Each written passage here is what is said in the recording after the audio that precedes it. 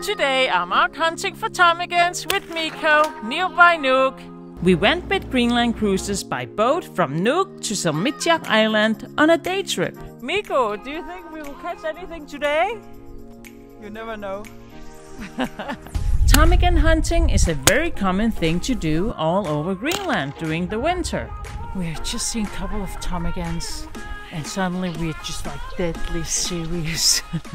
Unfortunately, we didn't catch anything because you can't always be lucky, but Not all of us are completely lost on this tour. because two other women from the same boat trip had caught three ptarmigans, Pia had caught two and Bitty one.